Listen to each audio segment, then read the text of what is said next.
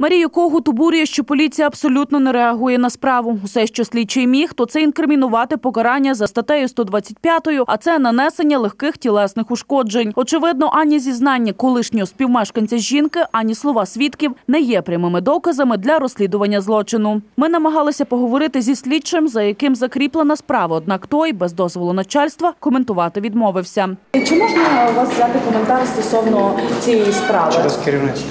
Тобто без них ви не Коментувалося. možete prokomentirovati?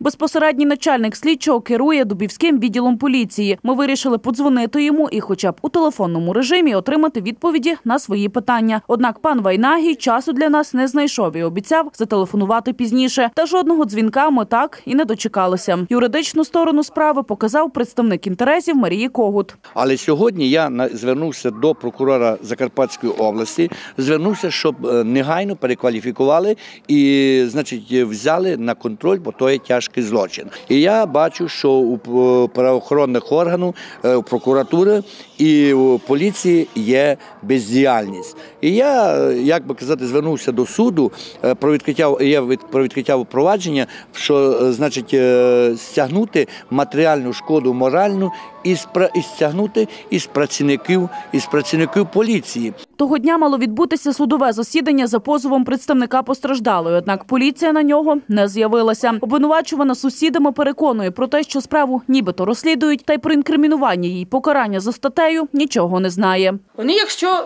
думали, думали на мене, чи на ще на другого сусіда, чи на третього, як можеш так думати і просто з голови взяти?